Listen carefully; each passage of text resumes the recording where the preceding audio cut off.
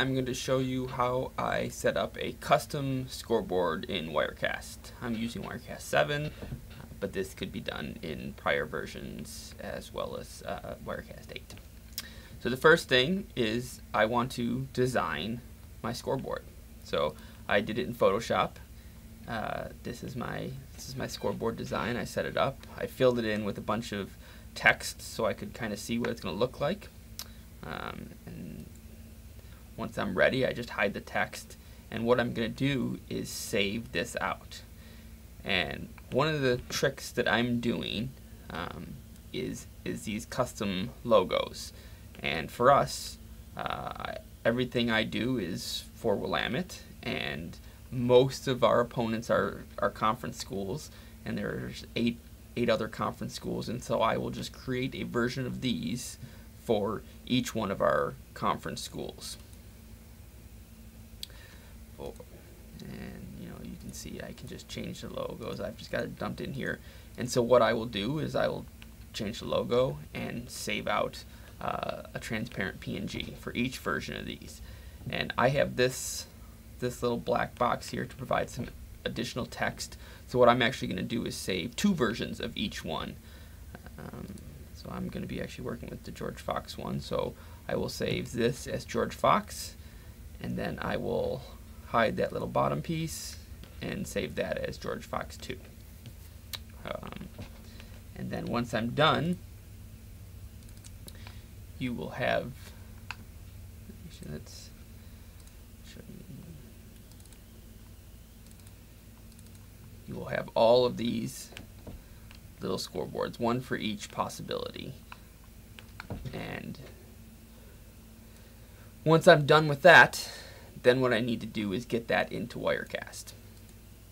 So, to get it into Wirecast, what I'm going to do is go into your C drive and program files, and then Telestream, Wirecast, EVA underscore plugins, sources, scoreboard, and now all the configurations are done in this scoreboard underscore templates file. And all your images go in your images folder. And so if I open this, you can see here all the ones that I, my custom ones. And these are the ones that you may recognize from the default Wirecast scoreboards. But to actually get it to show up in the program, I need to edit this scoreboard underscore templates.xml. I'm going to use Sublime Text, but it's just a text file. You can edit it with whatever you want. So let's scroll down here. So this is what you would see when you open it by default. And you can see here is the metal pipe. This is all the information for the metal pipe scoreboard. And so let's just dissect this a little bit. Your group name is basically your scoreboard group. And in Wirecast, that is this right here. This is what the group is. You can see there's metal pipe. Type, veil template, that is going to stay the same for everything. Name is basically the subgroup that you're going to use. So you can see here under the metal pipe, there's basic, top, bottom, top, and bottom, and those should probably sound familiar. Unique ID is just a, literally a unique uh, ID for, for each one of these. You can see each one of them have a have a unique unique ID. Input count is how many inputs it's using, and width and height is uh, what the width and height of your uh, image file is. And then here we have image. The URL, this is just the name of the image file that you saved. So let's scroll up to the top and look at these ones that I did. So we start here. I created Willamette, that's my group. I named this one George Fox. I gave it a unique ID. It's got four inputs and it's 1200 by 125. The URL, which is basically the file name, is georgefox.png. And this is where the default location is. So each one of these text lines indicates where a text box will be located. So here's your first one, and these are your rectangle coordinates. And basically, it's, it's this is your top left, and this is your bottom right.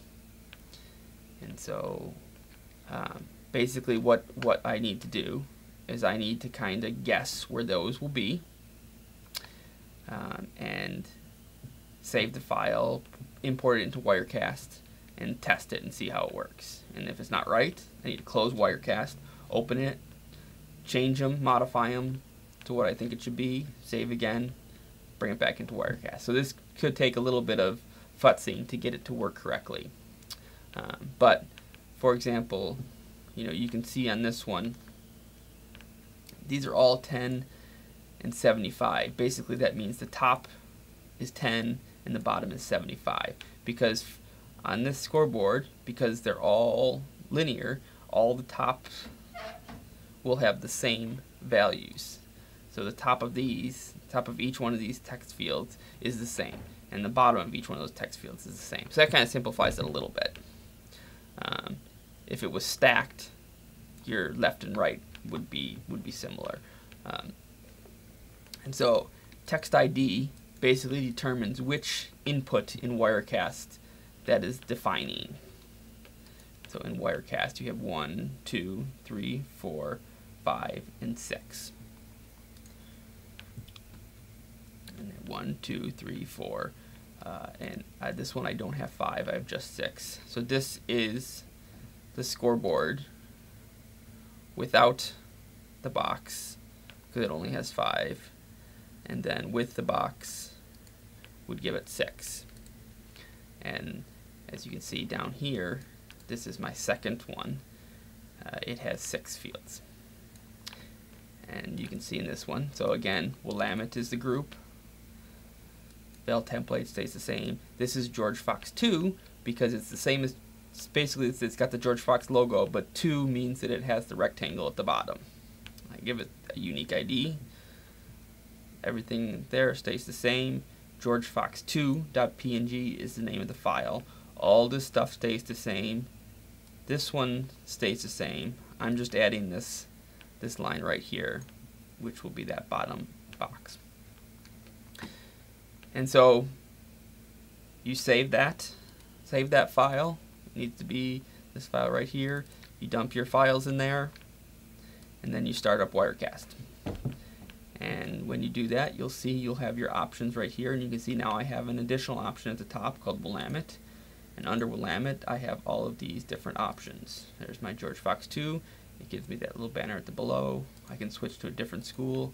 Can go to Lewis and Clark, go to Linfield. You can see that each one I do changes changes the logo. And each one of them has a 2, which adds that box below.